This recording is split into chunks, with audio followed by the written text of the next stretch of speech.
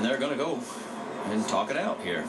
Oh, Uh-oh. and this is. Uh-oh. Oh, we got a fight breaking out. Yeah, Jeff not happy. Jeff Jeff Gordon not happy with what happened there. Official stepping in between, but this is far from over. I mean, there weren't even words exchanged. This was in your face. I saw that coming because there was an ambulance behind Jeff Gordon's car for him to get in. He walked over there the other one that they had for Jeff Burton. Now, Mr. Gordon's not too happy. He goes down and he's going to try to cauliflower Jeff Burton's ears here for him. Luckily, we had two uh, officials